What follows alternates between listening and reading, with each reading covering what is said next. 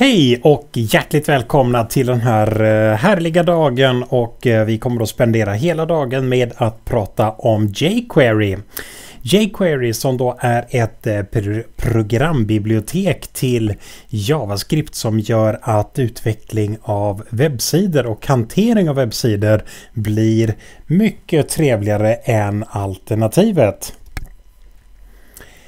Så jQuery är då alltså ett programbibliotek till JavaScript. jQuery är gjort i JavaScript så man kan ju ställa sig frågan vad är då problemet med JavaScript? Och eh, Svaret på den frågan är att JavaScript är ganska bra på ganska många saker men det saknas en hel del enkelhet för att kunna använda JavaScript på ett smidigt sätt för programmeraren i alla fall.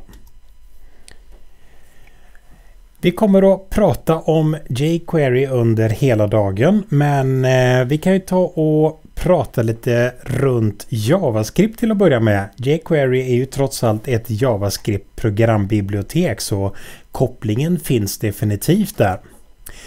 Eh, om vi då tar JavaScript så introducerades JavaScript i en webbläsare som heter Netscape och i version 2.0 beta utav Netscape så kom då en första version av det som vi kan kalla för JavaScript. Vi pratar 1995 här så JavaScript har en hel del år på nacken vid det här laget. När webbläsaren Netscape släppte det här så kallade man programbiblioteket för JavaScript, det som fanns i webbläsaren. Ett av många problem med eh, det här skriptspråket är just namnet. Det finns väldigt många namn på det här som vi kan kalla för JavaScript. I Netscape så hade man ett namn, eh, JavaScript om jag inte minns fel. Det finns även andra implementationer av det här språket som vi kallar för till exempel Mocka, LiveScript, JScript och så vidare. JavaScript är ett av de här namnen. Det riktiga namnet på det här skriptspråket råkar faktiskt vara ECMAScript.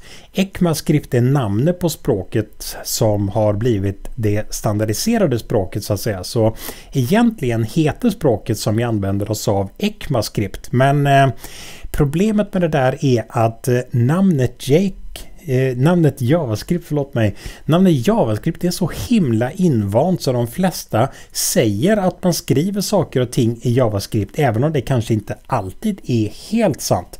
Man skriver troligen det mesta i ECMAScript men eh, vi kallar det här för JavaScript i alla fall så JavaScript är egentligen det normalt antagna namnet på det här skriptspråket.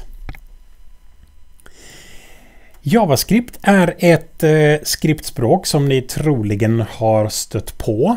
JavaScript tillhör C-familjen och eh, vi skriver på ungefär samma sätt i C-familjen av språk som vi skriver i JavaScript. Vi använder oss av parenteser, eh, krullparenteser, hårda parenteser för arrayer. Vi har semikolon för att avsluta exekveringen av en rad och så vidare. Det tillhör helt enkelt C-familjen av språk som väldigt många andra språk också gör. C-sharp och Java är ett par exempel av andra språk som tillhör C-familjen. Det är ett väldigt, väldigt kraftfullt språk JavaScript. Det är inte nödvändigtvis ett skriptspråk som vi använder på webbsidor men eh, mer till det här om en liten stund. Det som dock är intressant är att JavaScript inte har någon som helst koppling till Java. Jag stöter nästan varenda dag på studenter som har blandat ihop det här. En del studenter säger att jag har, eh, jag har läst Java förut och så har de i själva verket läst JavaScript. En del studenter säger att ja, ja, jag kan det här med JavaScript men i själva verket så är det Java som de har programmerat i tidigare. Bortsett från att både Java och JavaScript är programspråk som vi använder på en dator på något sätt eller något annat. Bortsett från det så finns det ingen koppling mellan Java och JavaScript. Det är två helt olika språk som har en helt olika uppbyggnad och används till helt olika saker. Så efter den här kursen kommer ni inte att lära er någonting om Java. Och det lovar jag. JavaScript då? Jo, om vi ska förklara vad JavaScript är för någonting så brukar vi säga att det här är ett eh, löst typat, klasslöst och prototypbaserat objektorienterat språk. Vad i hela världen betyder det där då? Jo, eh, det är ett löst typat språk. Det betyder det att ur programmerarens synvinkel så finns det inte olika datatyper. Om vi skapar en variabel så säger vi att den har datatypen var det är en generell variabel så att säga. I den här variabeln var så kan vi lagra kanske ett namn eller en ålder eller hur många meter och centimeter man har kastat en diskus. Det spelar liksom ingen roll. Ur programmerarens synvinkel så behöver vi aldrig tänka på vilken datatyp som saker och ting har. Det där tar JavaScript hand om under ytan istället. Om jag deklarerar en variabel och tilldelar den något så kommer JavaScript undersöka vad är det för någonting som tilldelades och då kommer JavaScript internt att lagra det här som en sträng eller som ett heltal eller som en float exempelvis. Det där betyder att det är löst typat. Vi berättar inte vad det är för data vad det är för, ursäkta mig, vi berättar inte vad det är för datatyp på våra grejer, vi bara helt enkelt skapar dem och sen så löser JavaScript det där. Det är ett klasslöst språk. Det betyder det att vi har inte möjligheten i JavaScript att göra klasser. Däremot så är det ett objektorienterat språk därför att vi kan använda oss av eh, saker och ting som finns i andra objekt. Om vi till exempel har gjort en sträng så kan vi då fråga objekt, objektet sträng om dess längd och så vidare och så vidare. Så vi har objektorienteringen på plats men vi kan inte göra klasser i JavaScript. Tro det eller ej, JavaScript kan vi använda utanför en webbläsare. Det finns faktiskt många olika tillfällen och applikationer där man använder JavaScript eller ECMAScript som en implementation av den här situationen som man vill lösa. Man måste inte använda en webbläsare för att kunna köra JavaScript helt enkelt.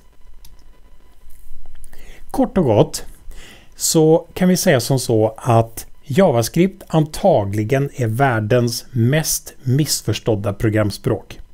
Det här är inte bara jag som säger det här. Det här är även sagt av en herre som heter Douglas Crockford. Douglas Crockford är ett namn som vi behöver lägga på minnet. Han är den absoluta gurun inom det här.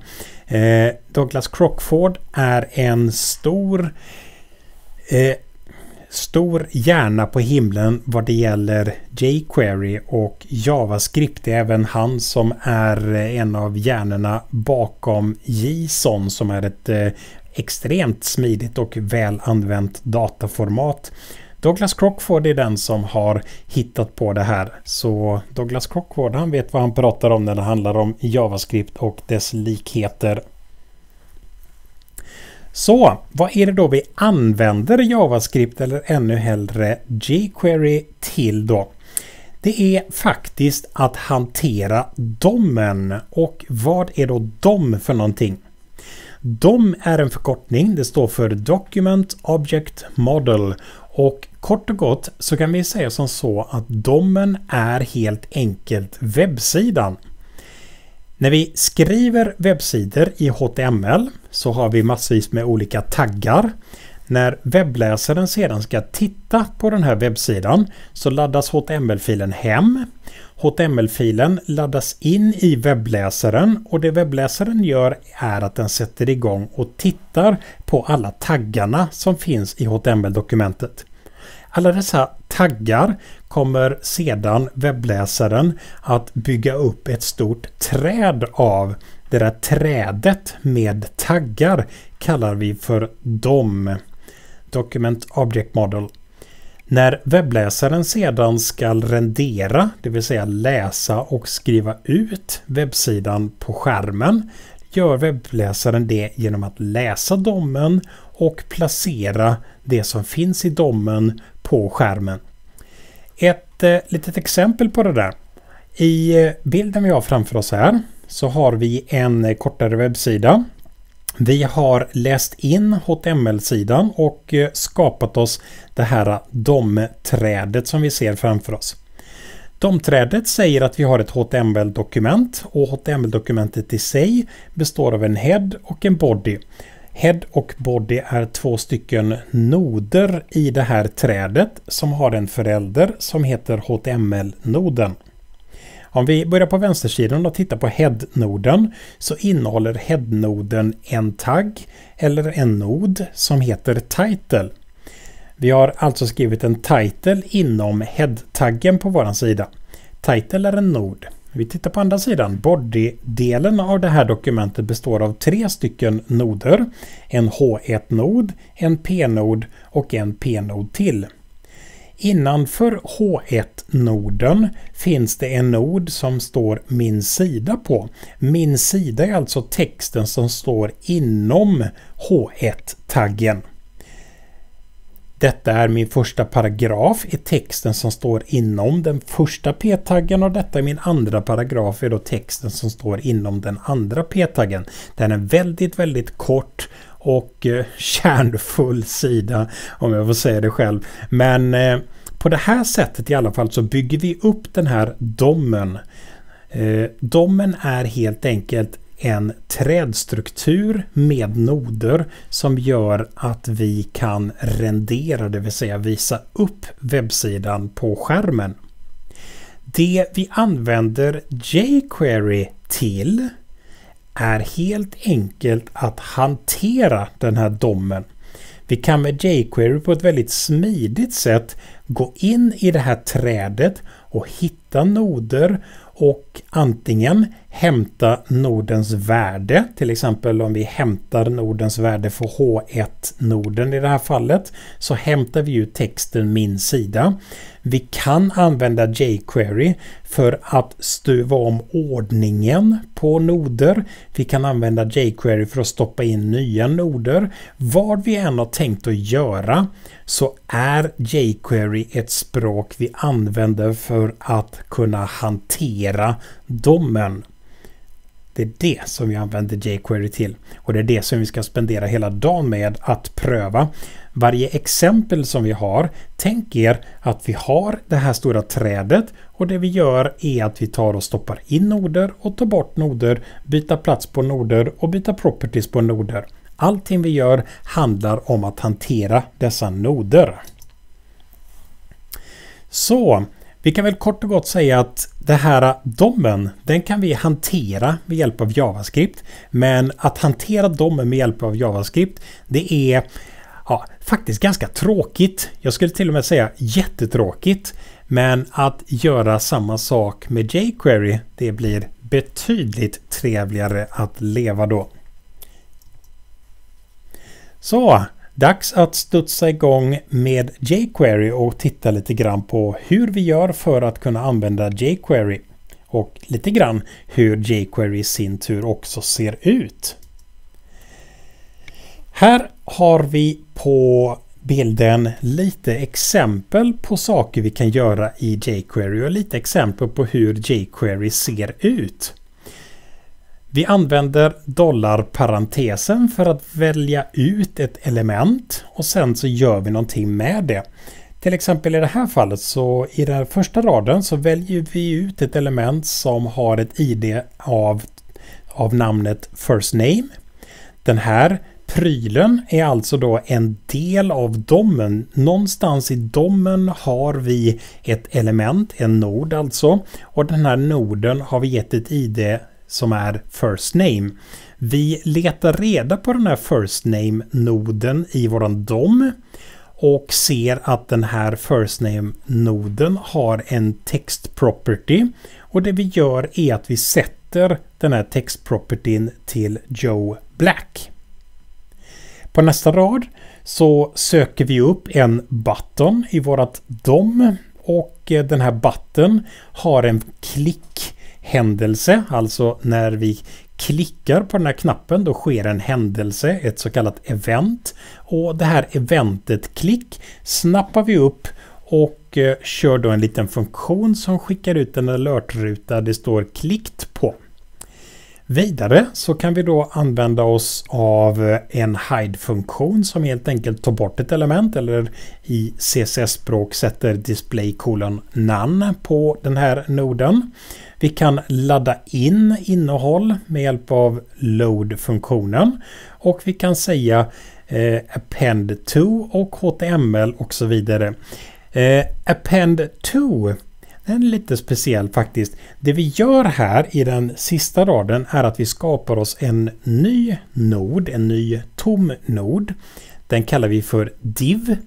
Vi ser till att appenda den här div-noden till våran content-del. Någonstans i domträdet finns det en nod som heter just content och det vi gör är att vi tar och lägger in den här nya texten loading som en ny nod i domträdet och attachar den här nya noden till en tidigare nod som fanns som hette content. På det sättet så kan vi då hantera domen med hjälp av jQuery. Så jQuery, vad är det för någonting idag? Jo, jQuery är ett väldigt lätt bibliotek. Det är väldigt lightweight som vi brukar säga, det vill säga det klockar inte in på speciellt många kilobyte. Det är ett open source-bibliotek till JavaScript. Det är licensierat dels under GNU Public License och dels under MIT-licensen. Så den här jQuery är licensierad till två stycken fria eh, licenser. Det som jQuery gör är att den kraftigt förenklar interaktionen mellan HTML och JavaScript. Vi kan nästan se jQuery som ett API gentemot JavaScript. Så, vem gjorde då den här fantastiska programbiblioteket? Jo, eh, bilden framför oss här, det är en herre som heter John Resig som eh, normalt sett jobbar på Mozilla Foundation som skrev den här koden som vi kallar för jQuery. Det var han som utvecklade jQuery och eh, det är fortfarande han som är huvud, huvudutvecklaren av jQuery. Så ser du jQuery så är det antagligen Jan Resig som har haft sin hand på programbiblioteket som vi använder oss av. Mer om jQuery. Det finns en community runt jQuery naturligtvis. Den här communityn är riktigt, riktigt bra. Om du har några frågor eller någonting, ställ det i jQuerys community och du har svar inom ett ögonblick. jQuery har en egen dokumentation som är fantastisk. Den innehåller förklaringar på precis allting och exempel på allting. Du har på jQuerys hemsida under docs.jquery.com har du exempel på hur man kan använda alla funktioner som ingår i jQuery. Dessutom så finns det plugins till jQuery. Det finns andra programmoduler som löser någon specifik uppgift som i sin tur bygger på jQuery. Om du exempelvis vill ha ett bildgalleri så finns det då plugins till jQuery som gör just det här. Nu för tiden så är även Microsoft med på tåget och eh, hjälper till med både utveckling och underhåll av jQuery. Just nu i januari 2018 som jag spelar in det här så är versionen av jQuery som är ute i det vilda 3.2.1. Nya versioner av jQuery kommer precis hela tiden. Så 3.2.1 är en version av jQuery som finns just nu men eh, i framtiden så kommer det antagligen att finnas senare versioner också skulle jag gissas på.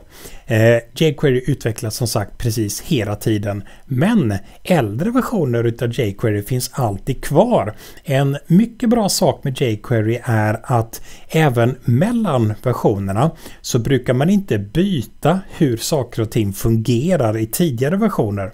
Om du har använt till exempel .hide i JavaScript eller i jQuery 1.1 exempelvis så kan du använda .hide-funktionen även i senare versioner av jQuery som 3.2.1 till exempel. De här funktionerna finns alltid kvar. Det som händer är att det kan komma extra funktionalitet till olika funktioner. Det kan även tillkomma funktioner. Men har du skrivit någonting i en viss version av jQuery så kommer det med största sannolikhet att fungera även i senare versioner av jQuery. Man kan alltid ladda hem en gammal version av jQuery om man känner sig mer trygg med den här äldre versionen. Så där, dags för demo. Eh, jag tänkte i den här första demon så ska vi göra den absolut viktigaste av alla saker som finns, nämligen Hello World. Första exemplet i alla nya programspråk skall vara Hello World. Det står i lagtexten. Paragraf, eh, ja, jag har glömt paragrafen faktiskt, men man måste alltid ha ett eh, Hello World-exempel som ett inledande exempel. I det här fallet hoppar vi in i kodeditorn och gör Hello World i jQuery. Ja, i eh, det här första exemplet ska vi ta och göra Hello World i jQuery. För att kunna använda oss av jQuery på våran sida så behöver vi först referera till jQuery eller berätta i alla fall att eh, jQuery finns. Om vi googlar Google jQuery CDN exempelvis så får vi upp en länk här till eh, Google Developers Hosted Libraries. Här ser vi en lista på massvis med olika JavaScript-bibliotek som eh, den här CDN innehåller. Om vi trycker på jQuery så får vi reda på att version 3 av jQuery finns på det här stället. Så vi kopierar den biten. Hoppar tillbaka till vår kod och eh, i eh, koden så tar vi och eh, klistrar in den där länken. Nu har vi stöd för jQuery i dokumentet. Vi skulle göra en Hello World så det där tycker jag vi skriver i head-delen av dokumentet. I head-delen så har vi här på den raden angett att vi ska använda oss av jQuery. Så vi gör väl en liten skriptdel som, vill, som, som använder sig helt enkelt av det där. Eh, om jag börjar med att skriva en alertruta så kommer det här att eh, fungera. Alert och så kan vi skriva ut texten eh, hejsan. Och så hoppar vi till webbläsaren och reloadar. Och vi får ut en alertruta som lyder hejsan. Det här är inte på grund av jQuery. Det här är vanlig Vanilla JavaScript. Men vi vill göra det här med jQuery. För att göra det här med jQuery på det riktiga sättet så använder vi eh, document.ready. Det vill säga när dokumentet är klart så kan vi göra saker och ting. Och det vi vill göra när dokumentet är klart är en function.